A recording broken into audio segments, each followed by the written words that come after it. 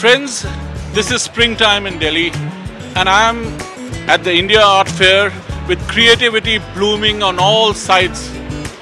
I am Bandeep Singh, Group Photo Editor of India Today, and I'm here to show you the pick of the Indian Art Fair.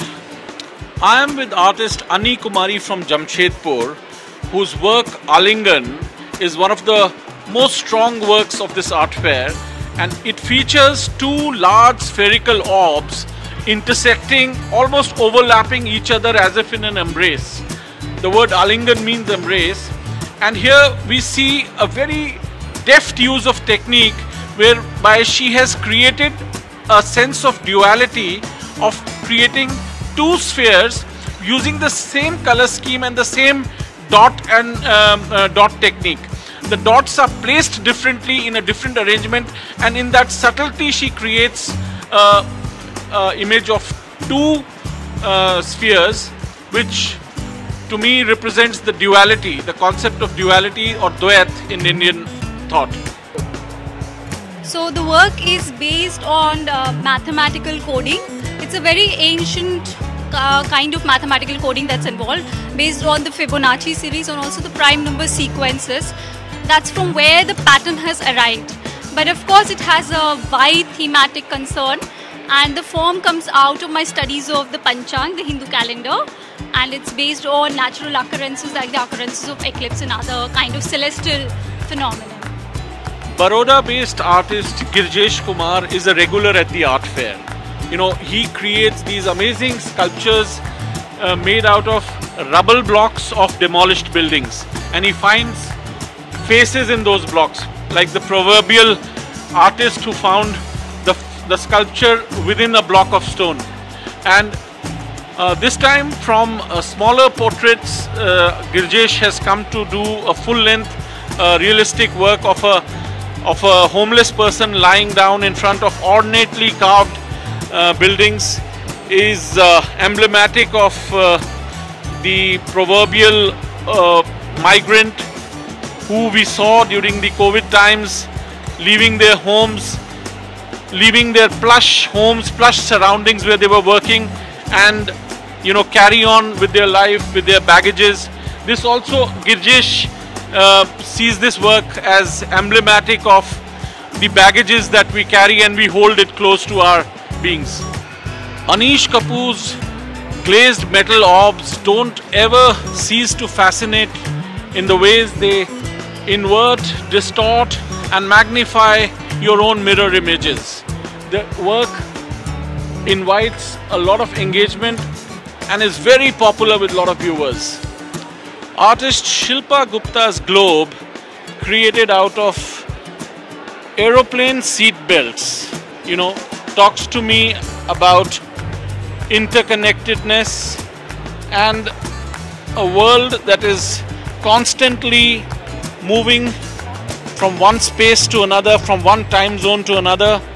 It's a globe created out of human movement. When you enlarge something, you are forced to engage with the form in a different way, in an independent way, seeing it for what it is rather than for what it signifies.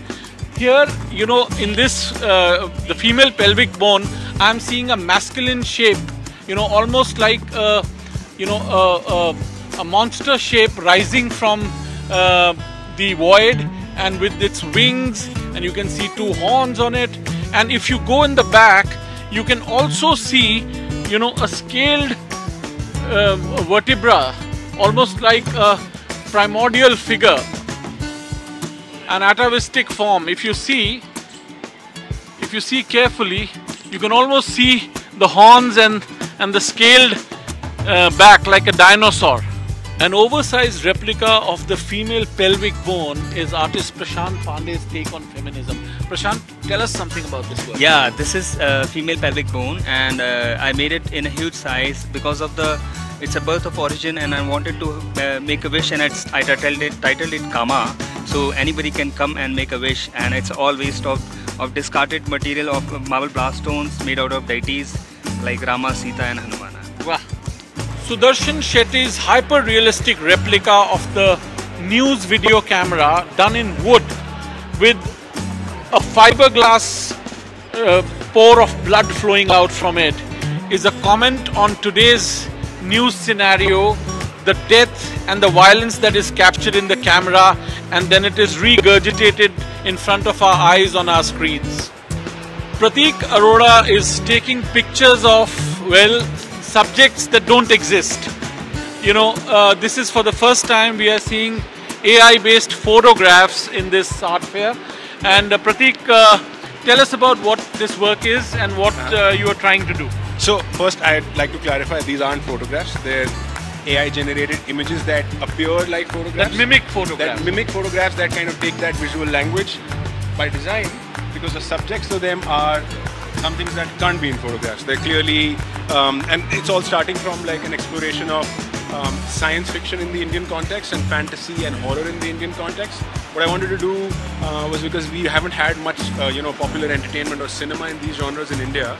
I, this new technology I thought was an opportunity to like create some of that or at least put some of that at, at my own level and, and see how people react.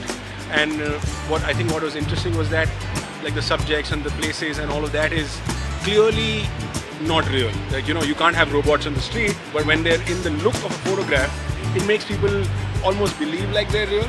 And, and it kind of also reminds people of like watching a film, right? So I think it's coming from there. We, we can title this film Gali Mein Sci-Fi. I'd love that. Gali Mein Sci-Fi is great. Gali Mein Sci-Fi. The assassination of Mahatma Gandhi is one of the most violent memories of post-independence history of India. But we are distanced from that memory by time and the ideological debates that surround the act of the assassination. Kerala based artist Tom Vattakuzhy creates a graphic depiction of the sheer horror, the anguish, the grief, the shock, and the sheer violence of the act of the assassination and forces us to look at it beyond all thought, beyond all beyond all arguments, beyond all debates, to look at the sheer pain and the horror of the act. I'm uh, joined by Tom over here, who is with us to talk about this work. Tom, tell us what led you to do this work, which is uh, very graphic in its detail. I feel that the same situation that led to the uh, death of Gandhi still exists. So I thought uh, it is time for me to portray how Gandhi died in, in uh, great detail. Thank you. It's a very powerful work.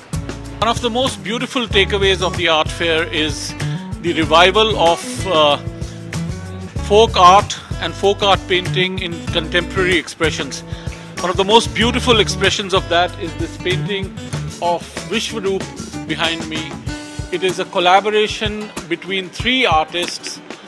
Uh, artist Bhajju Shyam working with Gond art, uh, Manjunath Kamath doing contemporary art, and Santosh, Kamath, Santosh Kumar Das doing Mithila painting.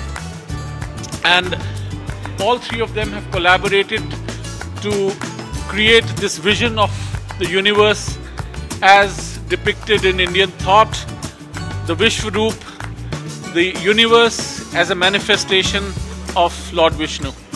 We end the walkthrough of this editions of the art fair with an amazing minimalistic depiction of the Kali by artist Paresh Maiti, where just the emblem of the red tongue coming out of a black void depicts the goddess and we leave you with the thought that you stay blessed and stay creative.